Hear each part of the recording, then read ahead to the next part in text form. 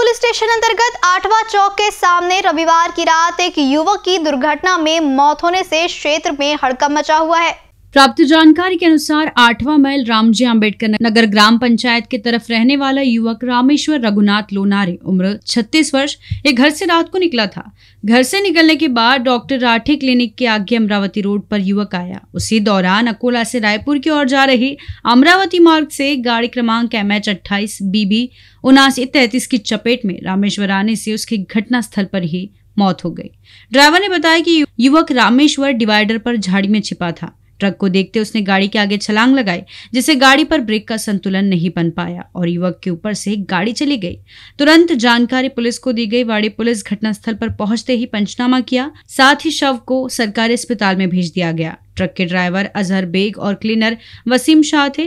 Police द्वारा दो सौ उनासी, तीन सौ चार सह कलम एक सौ चौतीस, एक सौ सतहत्तर के तहत मोटर वाहन अपराध दर्ज किया गया है। दुर्घटना होते ही ट्रक ड्राइवर भयभीत हुआ और कुछ दूर जाते ड्राइवर तथा क्लीनर ने गाड़ी आगे खड़ी कर भाग गए। कुछ समय बाद मामला शांत होते ही ड्राइवर और क्लीनर ने दुर्घटना की कबूली दी। युवक रामेश्वर के घर पर कुछ विवाद होने की जानकारी सामने आई है, जिस कारण वो गुस्से में घर से निकला था और अचानक गाड़ी के सामने आने से उसकी मौत हो गई। घटना के बाद परिजन वहाँ आए, रोते हुए शव को देखते उन्होंने ऐसा व्यक्त किया था।